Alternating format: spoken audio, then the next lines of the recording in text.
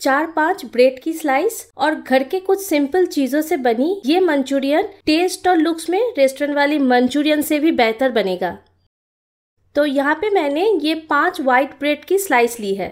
आप चाहे तो इसकी जगह पे ब्राउन ब्रेड भी ले सकते हैं। और अब इसे हम छोटे छोटे टुकड़ों में तोड़ के इस बोल में लेंगे। इसे मिक्सी में पीसने की ज़रूरत नहीं है। बस साथ में थोड़ा सा पानी डाल के इसे हल्का सा मसल लेंगे। तो यहाँ पे बहुत ज़्यादा पानी डालना नहीं है, बस हल्का सा ब्रेड साइज़ को सौगी करना है। तो लगभग आधा कप पानी मैंने यहाँ पे डाली है। तो ब्रेड बिल्कुल सॉफ्ट हो चुका है। अब इसमें डालेंगे एक चौथाई कप बारीक कटा हुआ गाजर, एक चौथाई कप पत्ता गोभी, एक चौथाई कप बारीक कटा हुआ प्याज, दो कटी हुई हरी मिर्च, एक छोटी चम्मच अदरक लहसुन का पेस्ट आधी छोटी चम्मच नमक, करीबन एक चौथाई छोटी चम्मच काली मिर्च पाउडर और डालेंगे कॉर्नफ्लावर तो बहुत ज़्यादा कॉर्नफ्लावर यहाँ पे डालना नहीं है। बस इस मिक्सचर को हल्का सा बाइंडिंग हमें करनी है। तो अभी दो चम्मच कॉर्नफ्लावर डाल के पहले अच्छे से मिला लेंगे और फिर ज़रूरत के हिसाब से और एक आधा चम्मच और डाल देंगे। और आज इसे हम तेल में फ्राई नहीं करेंगे। ये पूरा मंचूरियन की रेसिपी हमारी दो ढाई चम्मच तेल से ही बन जाएगा। ये देखिए मिक्सचर बिल्कुल ऐसा बनेगा। तो अभी लास्ट में इसमें आधी छोटी चम्मच सोया सॉस डालेंगे और अच्छे से मिला लेंगे। सोया सॉस से ना सिर्फ़ इसका लुक्स बल्कि टेस्ट में भी काफ़ी फ़र्क आता है और इसे रेस्ट भी नहीं करना है। बस ये हाथों को थोड़ा सा साफ़ कर लेंगे और अब इस अप्पे पैन को तेल से हल्का सा ग्रीस कर लेंगे। इससे मंचूरियन बॉल्स को आसानी से हम सेक पाएँगे।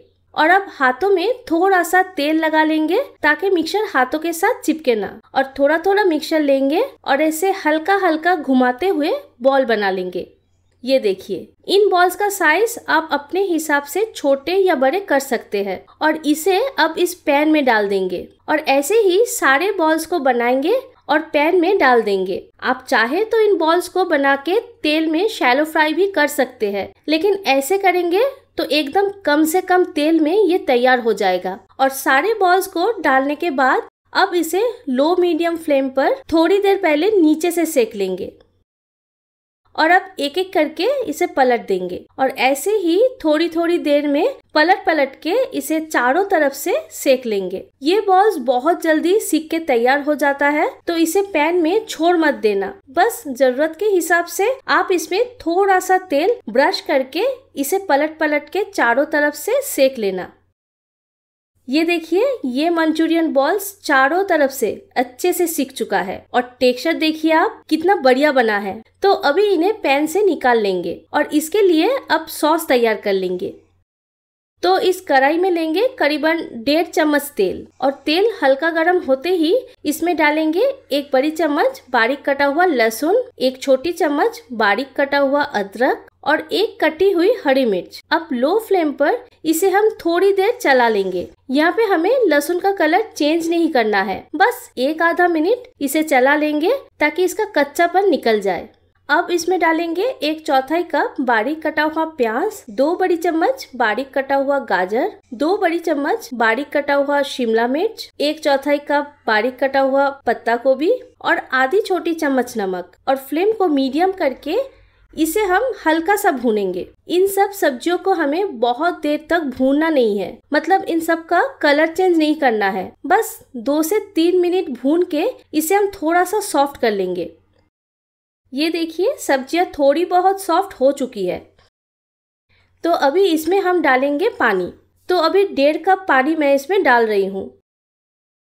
और साथ में आधी छोटी चम्मच चिली फ्लेक्स एक छोटी चम्मच विनीगर डेढ़ बड़ी चम्मच टोमेटो केचप एक बड़ी चम्मच ग्रीन चिली सॉस एक बड़ी चम्मच रेड चिली सॉस डेढ़ बड़ी चम्मच सोया सॉस और आधी छोटी चम्मच चीनी डालेंगे और अच्छे से इन्हें मिलाकर हाई फ्लेम पर एक उबाल आने देंगे। अगर आप ये मंचूरियन को थोड़ा सा सूखा बनाना चाहते हैं तो आधा कप पानी इसमें कम डालना और चीनी इसमें थोड़ा बहुत ज़रूर डालना। इससे सारे सॉस का टेस्ट बैलेंस रहता है। आप चाहे तो चीनी के बदले एकदम लास्ट में इसमें थोड़ी सी शहद भी डाल सकते हैं। ये देखिए, पानी में उबाल आ चुका है। तो अब फ्लेम को लो करेंगे। और ये मैंने डेढ़ चम्मच कॉर्नफ्लोर ली है और साथ में थोड़ी सी पानी डाल के इसका एक घोल बना लेंगे। ये घोल से ग्रेवी थोड़ा सा थिक बनेगा और टेक्सचर बिल्कुल रेस्टोरेंट वाली मंचूरियन जैसा ही आएगा। तो घोल को ऐसे कलची से घुमाते हुए डालेंगे। इसे कॉर्नफ्लावर की गुटलियाँ नहीं पड़ेगा। और अब इसे अच्छे से मिला के फ्लेम को हाई करके इसमें एक उबाल आने देंगे। ये देखिए, ग्रेवी काफ़ी ज़्यादा थिक बन चुका है। तो अब इसमें ये सारे मंचूरियन बॉल्स को डाल देंगे और थोड़ी देर मतलब एक दो मिनट बॉल्स को इस ग्रेवी में पका लेंगे। इसे ग्रेवी का जो टेस्ट है, वो बॉल्स के अंदर तक आ जाएगा।